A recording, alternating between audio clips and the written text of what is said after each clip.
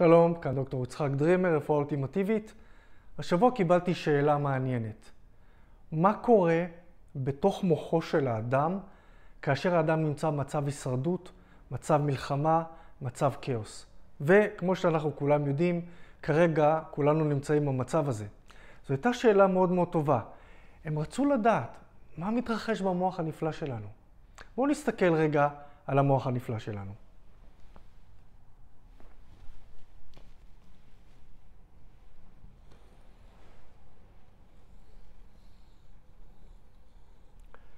כאן אנחנו מסמנים בעצם את החלק הקדמי של המוח שלנו, שנקרא הקדם מצחי.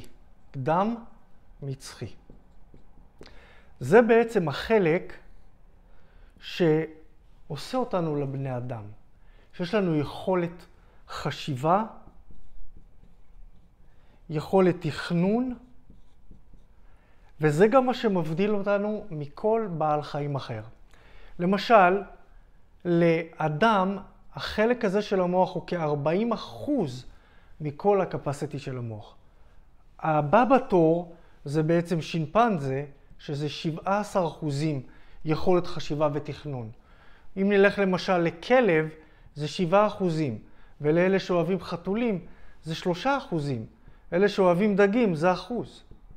שימו לב כמה מהיכולת של המוח שלנו הולכת על חשיבה, תכנון, ובעצם מה שמבדיל אותנו מבעלי חיות. עכשיו, החלק הבא הוא החלק הלימבי. החלק הלימבי. החלק הרגשי של המוח, של האדם. כאשר אם הרגשות שלנו הן נמצאות במצב של רגשות, רגש הורס, רגש מכשיל, מפחד, או הוא יכול להיות במצב של רגש בונה. עכשיו, אצל רוב האנשים שנמצאים במצב של סטרס, מלחמה, צרות, בעיות, חדשות, הפחדות, כרוניות, מתחיל להיכנס בעצם למעגל של המערך הלימבי הרגשי, לימבי,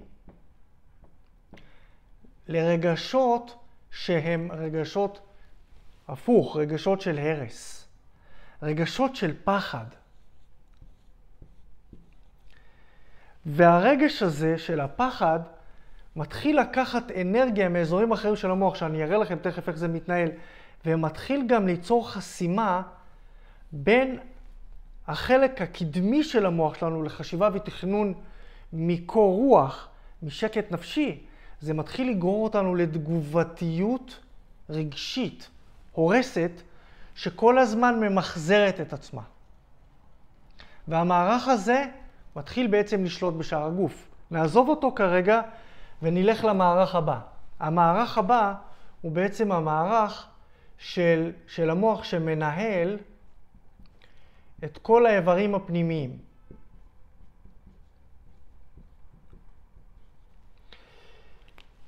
וכאשר, והוא יהיה תלוי מאוד במה מתרחש בניהול של אותו מוח, מה מתרחש מבחינת הרגשות, וכך הוא יעשה את העבודה עם ניהול האיברים הפנימי שהוא רובו אוטומטי, אוטונומי. נלך למחלקה האחרונה.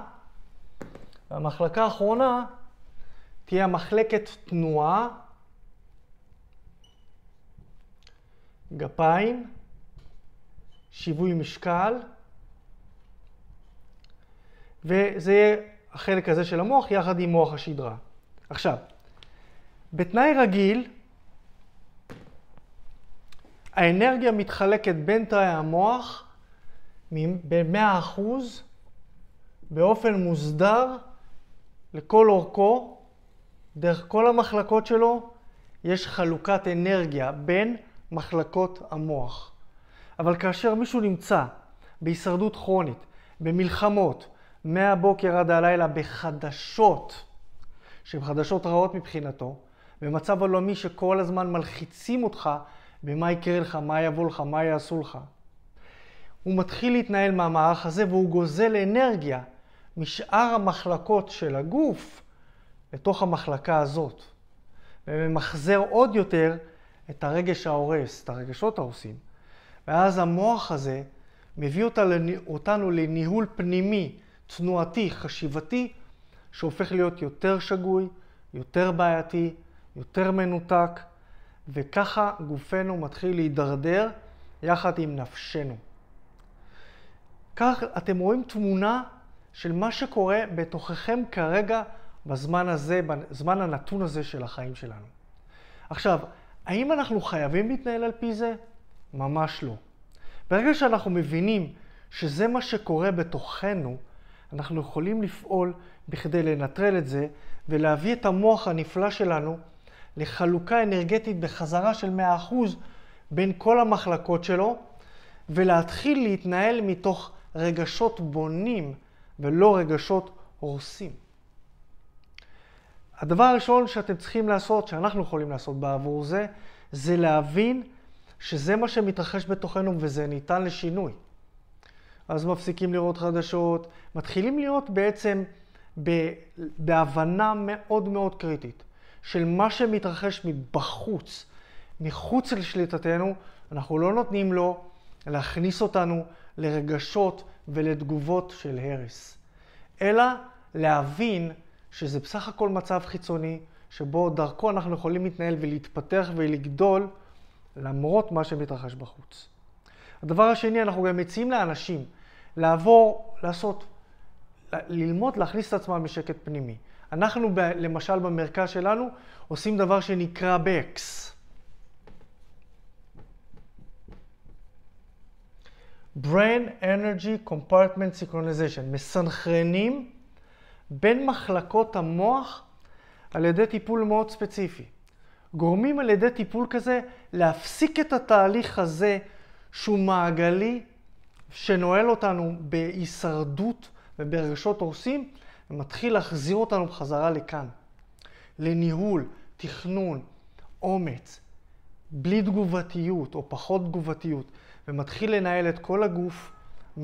בחזרה דרך המוח לשקט נפשי שהולך וגובר. התמונה הזאת חשובה, היא אמנם מופשטת, אבל היא נותנת לכם קצת מבט פנימי על מה מתרחש בתוככם ואיך אתם יכולים לנהל את זה, לעומת העולם החיצוני שגורם לכם להיכנס לפחד, לחרדה. אם הסרטון הזה מוצא חן בעיניכם, תעשו לו לייק, תשתפו אותו, ותודה שצפיתם.